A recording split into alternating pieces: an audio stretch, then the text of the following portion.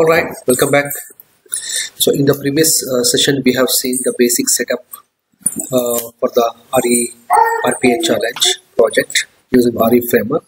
So in this video we will go further and we will start analyzing our uh, website for the automation and we will start implementation or modularizing the uh, activity.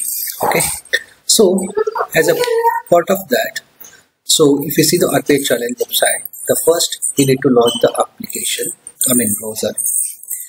And next we have to download Excel. So first is first is first. First we will launch the browser using our UiPath Studio. Okay let me move on to UiPath Studio.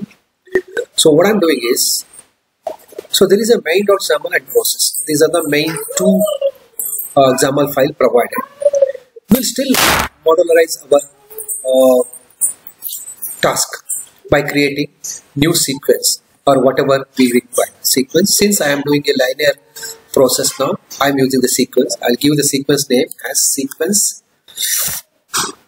This is launching browser activity launching browser.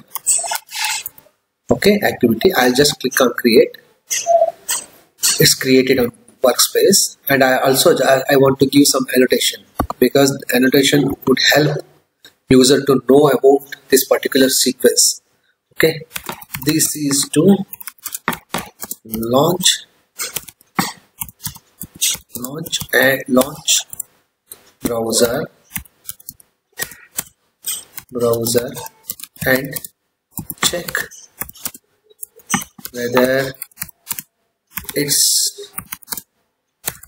sorry it's opened correctly. Okay. So let me do this one. This is done. Now to open the launch or browser we need to use open browser activity. I'll just put it okay. It expects one of the parameter that is url okay i'll go back to this i'll copy this and come back url so we need to put it in course the basics whatever we learned from the previous. Okay now this is done. Okay now suppose let's let's assume like if the browser not opened successfully then it should try it again. The robot should try to launch it again.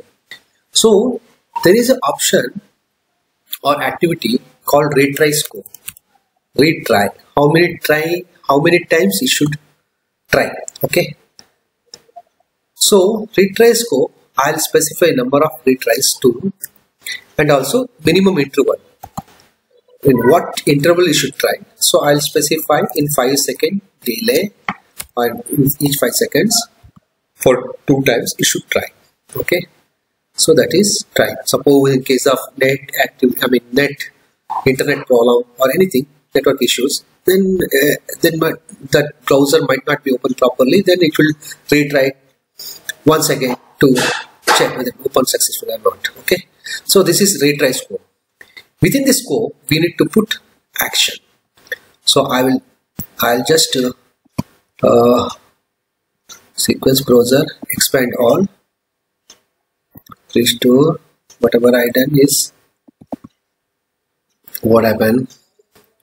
There is a okay sequence like browser okay fine. I'll just collapse this one.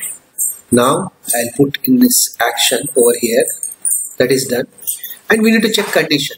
What condition we will identify? Because this retry scope is based on some condition right? So for that I can use element exist. Okay? There is an element exist. I'll put over here so I'll spy it and check.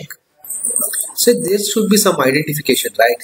If this RPA challenge logo is loaded means the site is loaded properly right? That's why I'm just spying out and keeping that. So now what happens?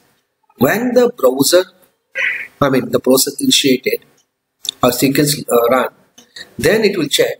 First it will check the condition. It will launch the browser and check the condition. If it doesn't see this RPA challenge logo over there then again it goes back to the action for the two times. Uh, and also I'll just click on this and there is the option browser type. I'll select as Chrome because I like to work on Chrome so I'll select Chrome. You can select it whatever you like okay. let me run this now. I'll use run file because I need to run the specific file. Once I run this application it should launch the browser perfect. So it's launched the browser. I mean if it doesn't launch then it will retry for the second time. So this is about the first our first activity to launch the browser and check whether it's launched successfully or not. So in the coming video we will see how to uh, automate or how to implement activity for click uh, click the download excel button and start reading data. Thank you. Thank you for watching this video